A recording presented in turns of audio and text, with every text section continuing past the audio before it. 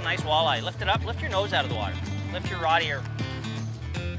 Within a minute, we start catching fish. Uh, walleye, bass, uh, a couple pike. Perfect. Here. Well, I think we found a spot. I don't know what I got, but I got a nice fish.